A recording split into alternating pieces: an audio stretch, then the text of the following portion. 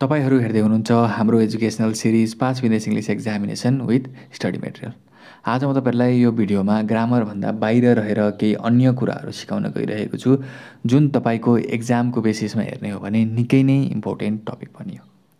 To thousand seventy seven र two thousand seventy एटमा continuously यो क्वेसन सोधिरहेको तपाईँ पाउन सक्नुहुन्छ। टु थाउजन्ड सेभेन्टी एटको क्वेसन नम्बर थ्री र टु थाउजन्ड सेभेन्टी सेभेनको क्वेसन नम्बर नाइन र इलेभेनमा यो रिलेटेड क्वेसन सोधेको तपाईँ पाउन सक्नुहुन्छ जुन कुरा मैले तपाईँलाई त्यहाँ स्क्रिनमा पनि देखाइदिइसकेको छु। आज चाहिँ हामी मेनली टु थाउजन्ड सेभेन्टी सेभेनको क्वेसन नम्बर इलेभेनसँग चाहिँ फोकस भएर चाहिँ केही कुराहरू बुझ्न गइरहेका छौँ। हामीले चाहिँ क्वेसनमा एउटा प्याराग्राफ दिएको हुन्छ र त्यो प्याराग्राफकोलाई चाहिँ हेरेर त्यो प्याराग्राफको अनुसार चाहिँ हामीले additional information marker contrast marker conclusion marker cause and effect marker time indicator चाहिँ थाहा पाउनुपर्ने हुन्छ। अब यी सबै कुराहरू भनेको के के हुन् त अब हामी विस्तृत रूपमा चाहिँ यहाँ बुझ्नेछौँ। सो भिडियोमा जानुभन्दा अगाडि तपाईँलाई हाम्रो भिडियोहरू मनपर्छ भने भिडियोलाई लाइक र च्यानललाई सब्सक्राइब गर्न चाहिँ नबिर्सिनु होला फर्स्टमा हाम्रो आउँछ एडिसनल इन्फर्मेसन इन्डिकेटर भनेर। यो भनेको के हो त? एडिसनल इन्फर्मेसन इन्डिकेटर भनेको के हो त? त्यो कुरा चाहिँ हामीले अब बुझ्नुपर्ने हुन्छ। सपोज एउटा राइटर छन् अरे। त्यो राइटरले चाहिँ एउटा राइटिङ चाहिँ लेखिरहेका छन्। अब त्यो राइटिङमा चाहिँ उनले केही कुराहरूलाई चाहिँ एड गर्नुपर्ने भयो। अथवा राइटरलाई फिल भयो कि अब मैले यहाँ केही एडिसनल कुराहरू चाहिँ थप्नुपर्ने भयो। त्यो बेला राइटरले चाहिँ के युज गर्छन् त भन्दाखेरि त्यो बेला राइटरले युज गर्छन् एडिसनल इन्फर्मेसन इन्डिकेटर यानि यस्तो इन्डिकेटर प्रयोग गरेर चाहिँ यस्तो वर्ड अथवा यस्तो फ्रेजहरू प्रयोग गरेर चाहिँ राइटरले एडिसनल इन्फर्मेसन चाहिँ दिने काम गर्छ। अब त्यस्तो वर्ड अब त्यस्तो फ्रेजहरू के के हुन् त भन्दाखेरि त्यस्तो वर्ड त्यस्तो फ्रेजहरू चाहिँ मैले तपाईँहरूलाई चाहिँ यहाँ लिस्ट आउट गरेर राखिदिएको छु।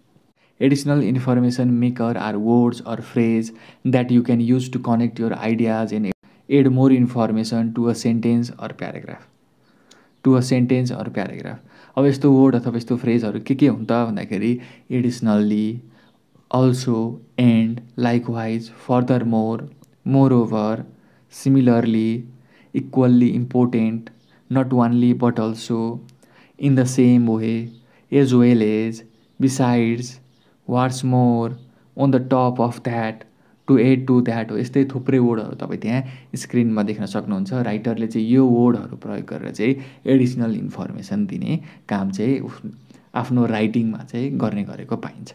सो यिनीहरू सबै के हुन् त? एडिसनल इन्फर्मेसन इन्डिकेटर हुन्। अब तपाईँले एउटा प्याराग्राफ दिएको छ र त्यो प्याराग्राफमा तपाईँले यस्तो वर्डहरू देख्नुभयो र यस्तो वर्डहरू पछाडि चाहिँ एडिसनल इन्फर्मेसन दिएको तपाईँले पाउनुभयो भने त्यो वर्ड चाहिँ के हुन्छ त? एडिसनल इन्फर्मेसन इन्डिकेटर हुन्छ। र तपाईँले एडिसनल इन्फर्मेसन इन्डिकेटर भनेर टु वर्ड भनेर चाहिँ लेख्नुपर्ने हुन्छ। अब सेकेन्डमा हाम्रो आउँछ कन्ट्रास्ट मेकर अब यो भनेको के हो त? कन्ट्रास्ट मेकर भनेको के हो त? भन्दाखेरि अब यदि राइटरले चाहिँ कुनै राइटिङ लेखिरहेका छन् अब उसले चाहिँ आफ्नो राइटिङमा चाहिँ दुईवटा आइडिया अथवा दुईवटा कन्सेप्टको बिचमा चाहिँ केही डिफ्रेन्स देखाउनु पर्ने भयो अथवा केही कन्ट्रास्ट देखाउनु पर्ने भयो केही विपरीत देखाउनु पर्ने भयो भने त्यो बेला राइटरले युज गर्ने कुरा अथवा त्यो बेला राइटरले युज गर्ने भर्बल सिग्नल अथवा वर्ड अथवा फ्रेज चाहिँ के हो त भन्दाखेरि त्यो हो कन्ट्रास्ट मेकर राइटरले चाहिँ यो वर्ड र यो फ्रेजहरू प्रयोग गरेर चाहिँ केही कुरा बिच कन्ट्रास्ट केही कुरा बिच डिफ्रेन्स केही कुरा बिच चाहिँ विपरीत चाहिँ देखाउने गरेको पाइन्छ। Contrast marker are words or phrase that can be used to show the difference between ideas, to emphasize a point, or to show a cause and effect relationship in which one idea leads to a different or opposite outcome.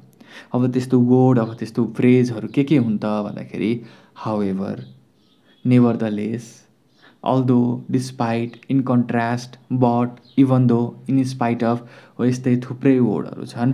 राइटरले चाहिँ यो word प्रयोग गरेर चाहिँ केही कुराबिच contrast विपरीत अथवा केही कुराको डिफ्रेन्स चाहिँ देखाउने गरेको पाइन्छ। सो प्याराग्राफमा तपाईँलाई चाहिँ कन्ट्रास्ट मेकर फाइन्ड गर्नु पऱ्यो भन्दाखेरि यस्तो वर्डहरू कहाँ छन् त? त्यो वर्डहरू खोजेर चाहिँ तपाईँले लेख्नुपर्ने हुन्छ। त्यस पछाडि चाहिँ के भएको हुनु पऱ्यो त?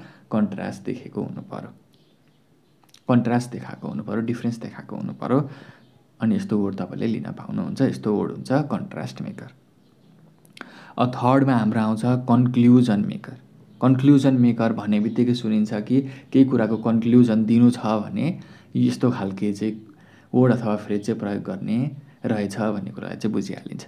अब यदि कुनै राइटरले चाहिँ राइटिङ लेखिरहेका छन् अब त्यो राइटिङ चाहिँ सकिन लाग्यो त्यसलाई चाहिँ अब इन्ड गर्ने बेला भयो त्यसलाई चाहिँ अब ऱ्याप अन्तिममा चाहिँ त्यसलाई अब समराइज गर्ने बेला भयो कुनै पिस अफ राइटिङ यानि राइटरले लेखिरहेको कुरालाई क्लोज गर्ने बेला भयो अथवा कन्क्लुजन लास्टमा दिनुपर्ने बेला भयो भने त्यो बेला राइटरले प्रयोग गर्ने वर्ड र फ्रेज भनेको चाहिँ कन्क्लुजन मेकर वर्ड फ्रेज हो।